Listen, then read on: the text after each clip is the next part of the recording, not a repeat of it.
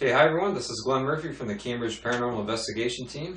I am here with the team today. We have Frank, Carolyn, and Steve is on the camera. And we are in the uh, township of Woolwich, Ontario. We're in a home uh, was built in uh, 1913, so it's about 100 years old.